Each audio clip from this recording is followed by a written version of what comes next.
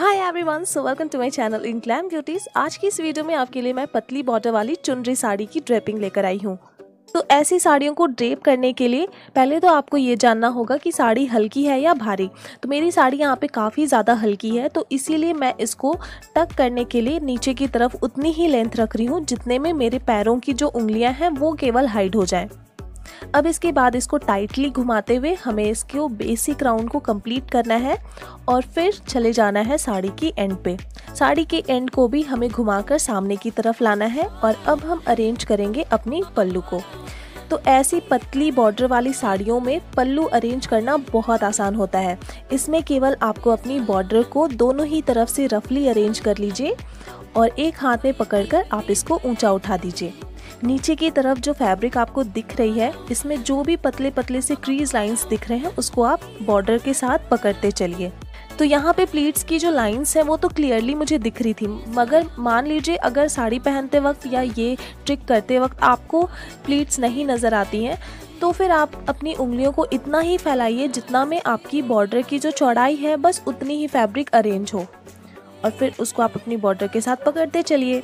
यहाँ पे देखिए कितने परफेक्टली प्लीट्स जो हैं वो अरेंज हो गई हैं। अब जितनी लंबी लेंथ आपको चाहिए, उतने लंबे लेंथ तक इसको आप इसी तरीके से सेट कर दीजिए। अब इतनी पतली प्लीट्स के साथ अगर आपकी ये कन्फ्यूज़न है कि वो आपके सामने के पोर्शन को अच्छे से कवर करेगी या नहीं तो आगे मैं आपको ऐसी पिनिंग ट्रिक बताने वाली हूँ जिससे कि आपकी ये कन्फ्यूज़न भी सॉल्व हो जाएगी। चलिए यहाँ पे आप लेंथ देख लीजिए, बिल्कुल नीच से नीचे तक है मेरी। अब इसके बाद देखिए, इस कंधे की प्लीट को हम कहाँ लगाएँगे? बिल्कुल अपनी स्लीव्स के एंड पे लगाएँगे हम। जैसे कि यहाँ पे आप देख सकते हो, बिल्कुल एंड पे मैं लगा रही हूँ। यहाँ पे मैं ब्लाउज के नेक को नहीं देख रही हूँ कि मुझे ब्लाउज के बिल्कुल नेक पे लगानी है। नहीं, आपको अपनी बिल्कुल एंड पे लगानी है शोल्डर के। ये देखिए अब यहाँ से ये बॉर्डर जब आप इसको क्रॉस करते हुए ले जाओगे दूसरी तरफ़ से तो ये परफेक्टली आपकी फैलेगी और आपके नेक के ऊपर ज़्यादा चढ़ेगी भी नहीं। अब ये फैब्रिक हम पीछे की साइड से घुमाकर सामने की तरफ़ पकड़ लेंगे। अब हम बनाएँगे अपनी सेंटर प्लीट सेंटर प्लीट बनाने के लिए राइट की तरफ़ से थोड़ा सा कपड़ा हम छोड़ देंगे और फिर कुछ इस तरीके से चौड़ी चौड़ी प्लीट्स हम अरेंज करेंगे। देखिए, ऐसी प्रिंट वाली जो साड़ियाँ हैं ना, वो आपको स्लिम लुक देने में भी हेल्प करती हैं। तो अगर आप पहले से काफ़ी ज़्यादा पतले दुबले हो तो ये साड़ी मैं आपको सजेस्ट नहीं करूँगी, लेकिन हाँ अगर आप हेल्दी हो तो फिर आप ऐसी साड़ियाँ ज़रूर पहनिए।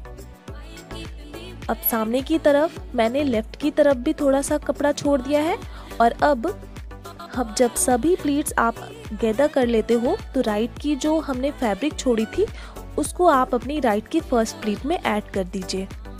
नीचे की तरफ़ प्लीट की लेंथ अपनी बेसिक राउंड से मैच करते हुए, आप ऊपर की तरफ़ वाली एक्स्ट्रा फैब्रिक को टक कर दीजिए अपनी ठीक बेली बटन के पास।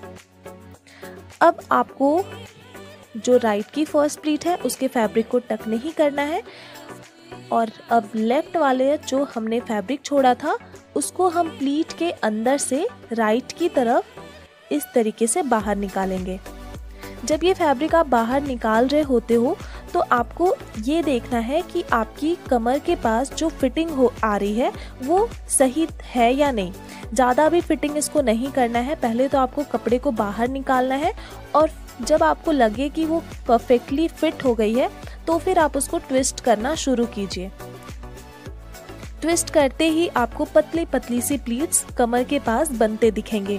तो आप उसको सेट कर दीजिए और फिर प्लीट आपने जो ट्विस्ट करके फैब्रिक बनाया है, उसमें आप एक छोटा सा नॉट बना दीजिए।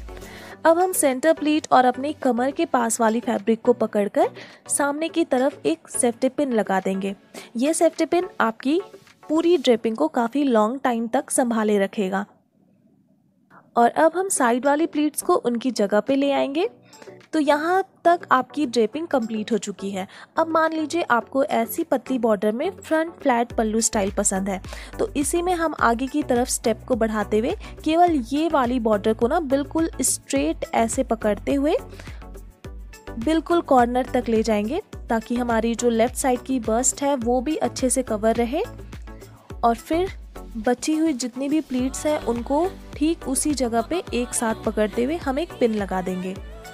तो यहाँ पे प्लीट्स हम उतनी ही पकड़ेंगे जैसे कि हमने इसको अरेंज किया था, यानी कि बिल्कुल पतली पतली प्लीट्स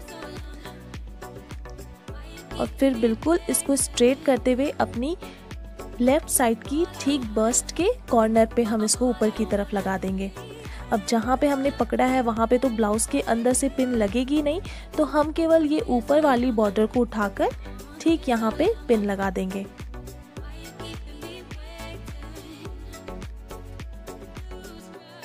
ये पिन सिक्योर होते ही आपको सामने की तरफ़ से काफ़ी परफेक्ट फिनिशिंग मिलेगी, और ऐसी अगर पतली बॉर्डर वाली आप साड़ी पहन रहे हो तो ये स्टाइल मैं आप लोगों को हाईली रेकमेंड करूँगी।